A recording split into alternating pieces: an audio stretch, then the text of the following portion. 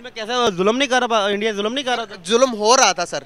हो रहा है। सर जी ट्वेंटी की मीटिंग इंडिया ने कश्मीर के मुझे लगता है आप इंडिया से आए हैं। इंडिया के हक में बातें कर रहे हैं। मेरी बात मतलब सुन। यही है ना। मेरी बात सुने। अब बलोचिस्तान बलोचिस्तान बलोचिस्तान में क्या? इंडिया करवा रहा है उधर। फिर हम वो फिर वो फिर हम वो भी कहता है कि कश्मीर में पाकिस्तान करवा रहे पता नहीं पाकिस्तान पाकिस्तान को अपने जो हेल्थ मिनिस्टर है इंडिया के वो पीएचडी डॉक्टर है नाम मैं भूल गया क्या नाम था। लेकिन वो पीएचडी डॉक्टर है हमारे हेल्थ मिनिस्टर क्या है? कुछ भी नहीं है वो एफएससी की डिग्री दिए होते हैं वो भी दो नंबर दो नंबर ही से हमारे कोई एक एक भी सेक्टर मतलब ऐसे नहीं है ऊपर वाले जो लोग हैं वो अगर कम्पिटेंट होंगे तो फिर ही हमारा हेल्थ सेक्टर बेहतर हो सकता है। एंड पे जय दोस्तों दोस्तों आपको बता दें कि पाकिस्तान की एक महिला थी जिसका लीवर खराब हो चुका था। आपको बता दें कि पाकिस्तान में था- ऐसा कोई डॉक्टर नहीं था जिसका इलाज कर सके और क्या बताएँ, वहाँ पर वैसे भी आपको पता है, आतंकवादी के सिवा को वहाँ पर कुछ नहीं मिलता है। आपको बता दें कि जब बात पता चली, इंडिया के एक डॉक्टर आए और वो बोले कि आप आइए मतलब डॉक्टर यहाँ के वीज़ा लगाएँ और उसको बुलाएँ और फ्री ऑफ़ कॉस्ट उसका इलाज करा कर उसको वहाँ पर अपने पैसा से भेजें भी। आपको बता दें कि इस पर पाकिस्तानियों को रिएक्शन आपको देखने को मिलेगा, बहुत ही मज़ा आने वाला अगर आपको ये अच्छे वीडियो को लाइक और हमारे चैनल को सब्सक्राइब ज़रूर करना चलो दोस्तों वीडियो को शुरू करते हैं देखते हैं और पाकिस्तानी वो लोग क्या बोलते हैं। तो इंतज़ाम हिंदू जमात है कभी भी नहीं चाहते कि इनके साथ मुसलमानों का मामला इकट्ठे हो बिल्कुल मतलब सर पहले वाला टाइम रहा है अब आप जो बातें कर रहे हैं? जो पहले वक्त में मैं तो था ही नहीं जब मैं को पहले बात करता हूँ। अभी अभी की आप बात कर रहे हैं ना वो पहले वक्तों की बात थी जो आप कर रहे हैं। अभी भी यही हिसाब था उधर। कहने का मकसद है जो जो जमात है जो हिंदू मैं आपको बता रहा हूँ कि एक डॉक्टर भाई जो कि वीज़ा दिलवा के भाई वीज़ा दिलवाना हुकूमत का काम है ना वीज़ा हुकूमत देती है। आप या मैं वीज़ा दे सकते हैं आप किसी को बाहर से किसी को ले आओ पाकिस्तान वो लेके आ सकता है। जो साफ़ी है जो भी है जो खराज पेश करते हैं जो जिस बंदे ने के वो बुलाया है ठीक है। लेकिन हमारी जो अक्सरियत जो है ना वही मामला नहीं हुकूमतें नहीं चाहती कि आपस में वो चीज़ हो। सर हुकूमत चाहती है। हुकूमतें चाहती हैं लेकिन जमात नहीं चाहती जो इंतज़ाम था। हिंदू जमात वो नहीं चाहती सर हिंदू भी चाहते हैं। फिर अब फिर आप आप आप ये ये किस वजह से कह रहे हैं कि हिंदू नहीं चाहते या इंतहा पसंद हिंदू नहीं चाहते? आप ये कौन सी वजह से कौन से फैक्ट पर बात कर रहे हैं? कौन सी किताबें पढ़ी हुई हैं? आपके मीडिया में देखा सारे मामला हम वहाँ तो नहीं गए। कौन सी मीडिया में देखा? सब मीडिया में ये चैनल में चलते हैं। मीडिया चैनल में? हाँ मीडिया में सारे मीडिया वहीं दिखाती ताकि नफरतें पैदा हो। अब किसको करें हम? सर आप हकाय को देखा करें आप हकाय को बीबीसी को सुना करें सर। अगर आपको ज़्यादा लगे आप सोशल मीडिया को फॉलो कर लें। सोशल मीडिया के हमारे जैसे पेज को देख लें आप आपको फैक्ट मिलेंगे और सच्चाई पे बात होगी। अब आपका पेज वैसे कौन सा है? जी, मैं आपको पेज भी बता दूँगा सर मैं आपको पेज भी बता दूँगा तो मैं यही बताना चाहूँगा कि एक इंसानियत की जान बचाई आप सल्लल्लाहु अलैहि वसल्लम का इरशाद है किसी ने एक इंसान की जान बचाई उसने गोया पूरी इंसानियत की जान बचाई किसी ने एक इंसान को किसी नाजायज़ इंसान में कत्ल कर दिया किसी का। नजायज बिला किसी वजह कत्ल किया उसने गोया पूरे इंसानियत को कत्ल किया। तो इतना बड़ी मिसाल कायम की है वो पहली औरत नहीं है जिनको किडनी ट्रांसप्लांट किया यहाँ से हमारे बहुत सारे मरीज़ जाते हैं इंडिया जाकर अपने इलाज करवा के आते हैं। हमसे बेहतर है तो इलाज करते हैं ना सर? आप इंडिया के कुछ बंदे तो कह सकते हैं कुछ शख्सियत तो कह सकती हैं है इधर पाकिस्तान में भी है जिस तरह अ, अंसार बरनी था।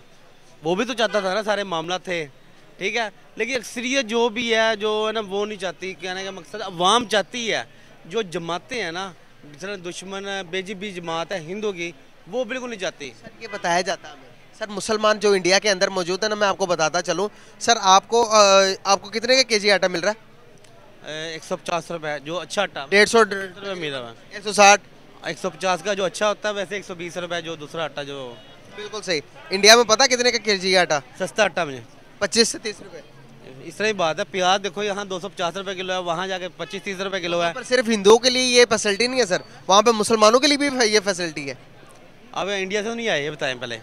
मैं ये मसला मसला सर नहीं आए। मसला सारा यही है सर मैं पीस कायम करना चाहता हूँ। जो हक बात करता है उसको हम उल्टी निगाह से देखते हैं सर लेकिन मैं मैं मसला यहाँ पर ये आ रहा है कि मैं पीस पैदा करवाना चाह रहा हूँ। मैं जो नफरतें ये ख़त्म करवाना चाह रहा हूँ। तो मैं तो कह रहा नफरत ख़त्म हो।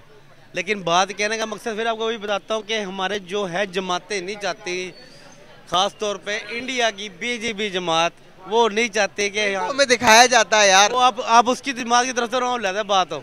अब मैं किसी अभी फैक्ट पे अगर आप बात करेंगे ना तो मुसलमान जितने को इंडिया में खुशहाल है उतने पाकिस्तान के मुसलमान हैं आज के टाइम के नहीं इंडिया में मुसलमान वहाँ तंग भी बड़े हैं कश्मीर में क्या लाता है?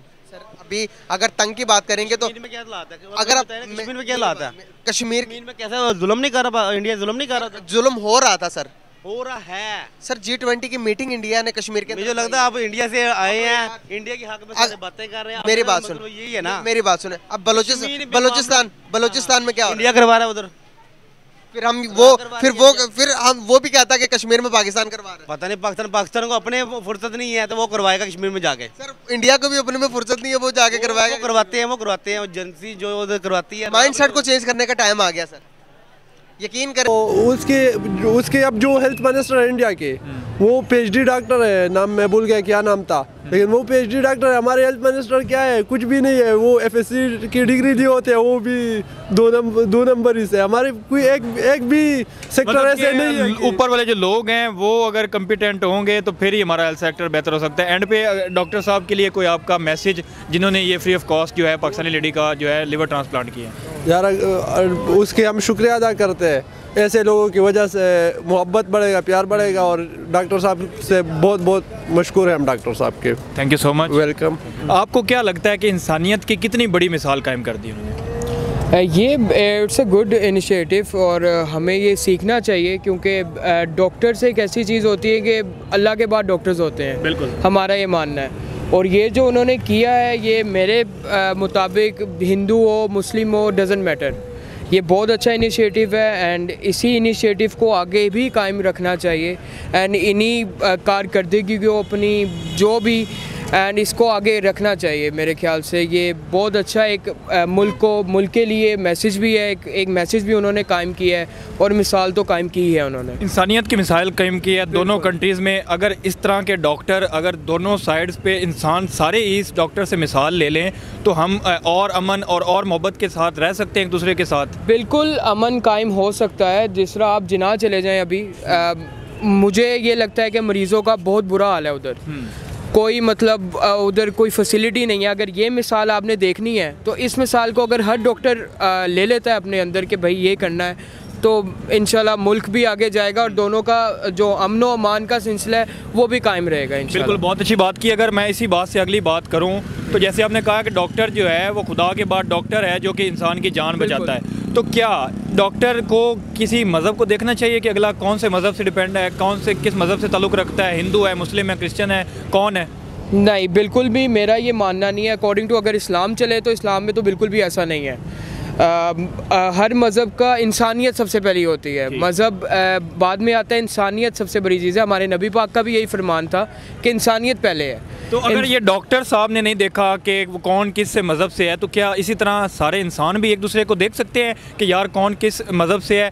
वो ये चीज़ ना देखी जाए और इंसानियत जो है वो उसको बुलाया जाए। अमन पीस हो मोहब्बत हो भाईचारा हो अच्छे तल्लुकात हो चाहे कौन किस मज़हब से भी क्यों ना हो। बिल्कुल ऐसा ही है। अभी जिस तरह पॉलिटिशियन पॉलिटिक्स की सिचुएशन जा रही है मुल्क में अमनो अमान नहीं है बेसिकली हर कोई अपनी सीट के पीछे लड़ रहा है, हर कोई पी टी आई हो पीएम जो भी जो भी जमाते सारे हमारे भाई हैं वो पॉलिटिक्स का यहाँ पर कोई टॉपिक नहीं है। लेकिन मैं बात ये करना चाह रहा हूँ कि अगर अमनो अमान आ जाए एक साथ ऑपोजिशन बैठ जाए तो मुल्क कहाँ से कहाँ जाएगा ये आपको भी पता है और ये पूरी दुनिया बेहतर जानती अच्छा है। अक्सर कहा जाता है कि जो है ना इंडिया की तरफ़ से कोई ऐसी मिसाल हमें नहीं मिलती है कि हमें कोई भाईचारे की ब्रदरहुड की मिसाल मिले कोई इंसानियत की मिसाल मिले। तो इस तरह की पहले भी मिसालें हो चुकी हैं एक बच्ची थी उनको भी उनको उन्होंने जो है वो बचाया। अभी फ्री ऑफ़ कॉस्ट जो है लिवर ट्रांसप्लांट किया है। तो इस तरह जो एक वाक़ होता है क्या वो पूरी नेशन का जो है वो माइंड सेट बदल सकता है। क्या पूरी नेशन को एक पीस की तरफ़ ला सकता है? एक आदमी का एक स्टेप जो है दोनों कंट्रीज़ को क्लोज कर सकता है। बिल्कुल कर सकता है बिल्कुल क्यों नहीं? ये ये यही मिसालें होती हैं जो आगे जाके काम आती है। और यही मिसालें हैं इन चीज़ को हमें मतलब इशू नहीं करना चाहिए क्रिएट कि भाई ये हिंदू हैं मुस्लिम डजेंट मैटर मैं वही कहूँगा कि इस मिसाल को देखें और इन आगे जो जितनी भी हमारी फ्रेंडशिप है आगे जो भी हमारे अमन अमान का सिलसिला उसको कायम रखें। सन और मैं दिल से ये कहता हूँ कि ये जो बॉर्डर लगे हुए हैं इनको तोड़ तोड़ दिया जाए और हमें हम एक नेशन है पूरी दुनिया में हमें इंडियन एक ही नेशन किया जा माना जाता है। तो वी वांट टू बी कि we are a same nation और ये ख़त्म कर दिया जाए ये जो फ़िरका है ये सिस्टम है ये हिंदू है ये मुसलमान है ये सिख है। वो आई लव दैट डॉक्टर के जो ने जो किया है। डॉक्टर ने भी मैसेज दिया सर डॉक्टर ने भी ये कहा है कि जो उनसे ये जो हम बॉर्डर्स बनाए हुए हैं ना सर बॉर्डर्स को खत्म कर दें तो मोहब्बत वहीं की वहीं है और प्यार वहीं का वहीं है। दोनों मुल्कों के दूसरे से प्यार है कितना एग्री करते हैं डॉक्टर से? मैं हंड्रेड परसेंट बल्कि वन हंड्रेड से वन हंड्रेड टेन परसेंट करता हूँ एग्री कि ये ऐसा होना चाहिए।